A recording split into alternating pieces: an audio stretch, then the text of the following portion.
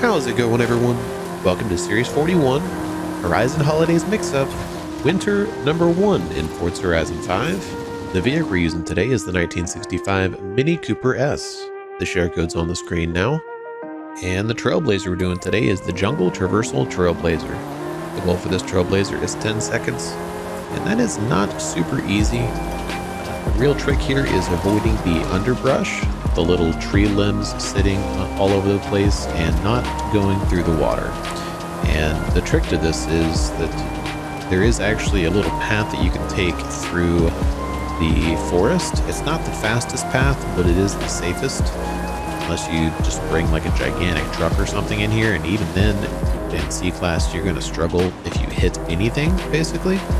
So the safest way is just to follow this little path if you hit a tree or hit any underbrush, just hit the rewind button and try again.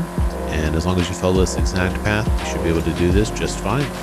Please don't forget to drop a like on the video if it helped you out, and subscribe with notifications on if you want to see more content like this.